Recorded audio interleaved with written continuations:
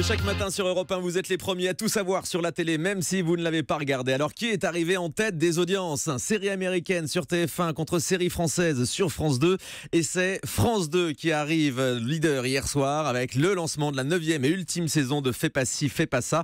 4 millions 111 000 téléspectateurs précisément pour les deux premiers épisodes, 17% de part d'audience. C'est un moins bon démarrage que l'année dernière, mais ça suffit toutefois donc à dépasser TF1 qui proposait la série Grey's Anatomy, les épisodes inédits de la saison 12 à 3 964 000 téléspectateurs, un 16,7% d'audience. Vous voyez que les deux chaînes sont quand même très très rapprochées. Il y avait un très beau programme à la télé hier soir hein, entre les inédits donc de Grey's Anatomy, Fais pas ci, fais pas ça le retour ou encore Top Chef sur M6. Vous l'avez bien noté sur le télérépondeur.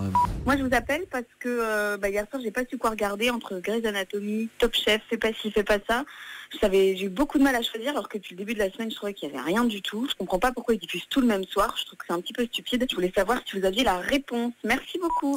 Ah bien, il n'y a pas de réponse. Euh, les chaînes dévoilent leur programme trois semaines à l'avance et aucune d'entre elles ne sait ce que programme euh, la chaîne concurrente. Donc c'était un hasard hier s'il y avait ce beau programme entre Grey's Anatomy, Fais pas ci, fais pas ça et Top Chef, bien que les chaînes savent aussi que Top Chef dure sur plusieurs semaines. Donc il faut mettre des programmes forts face à ce programme fort d'M6. Voilà, vous avez l'explication. C'était d'ailleurs donc le grand retour de Top Chef hier avec Jean-François Piège qui était plutôt discret depuis le début de la saison.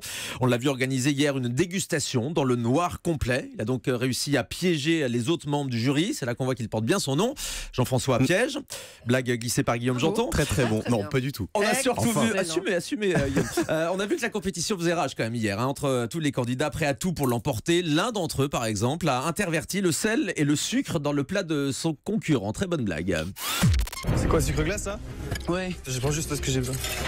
Oh, mais c'est du sel Putain, le bruti J'avais pris le sucre sur euh, le poste de Max, mais euh, en fait c'était du sel. Ouais, bah c'est du sel dans ton truc. Ouais. Mais putain Ah ouais, mais il l'a fait exprès, il l'a fait exprès.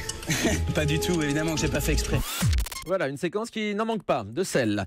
Blague offerte encore ça. par Guillaume Janton. Excellent. Allez, on passe aux autres chiffres, Guillaume. TMC en tête hier soir des autres chaînes. Et oui, Colombo est leader sur TMC avec une audience qui va faire plaisir à sa femme. Ah, 1 million. savait ça. Belle imitation, Thomas. Merci. Décidément, il a tous les talents. 1 300 000 téléspectateurs et 5,6% de part de marché pour TMC.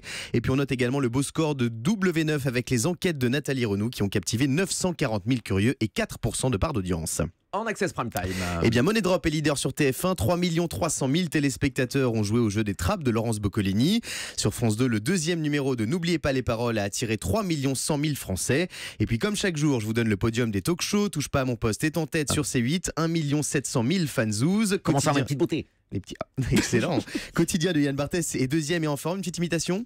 De Yann Barthès? Ouais. Ouh Ah, Marc-Antoine Lebrun. J'aimais très bien les imitateurs finalement. Et 1 450 000 fidèles. Et sur France 5, vous étiez 1 million à suivre Anne-Sophie Lapix. Vous l'imitez pas, elle? Euh, non, c'est plus compliqué Bon, les voix et de la bande de. C'est à vous. Et puis sur Énergie 12, le Mad Mac d'Ayem Nour enregistre un nouveau record à 340 000 téléspectateurs. Voilà, ça monte, ça monte grâce euh, aux enjeux à télé-réalité qui sont de retour depuis lundi sur euh, Énergie 12. Quotidien et TPMP qui finissent toujours aussi tard. hein. Je vous conseille la lecture d'un très bon article du Figaro ce matin qui explique précisément les raisons de ce euh, rendu d'antenne très tardif. hein. C'est ce qu'on vous a déjà expliqué dans cette émission. 21h, c'est le moment où il y a le plus de monde devant la télé. C'est donc là où les deux talk shows font leur maximum d'audience. Et en débordant après 21h, eh bien, les deux chaînes espèrent comme ça retenir les téléspectateurs pour leur prime time alors que les programmes ont déjà commencé sur les chaînes concurrentes. Merci beaucoup Guillaume Janton.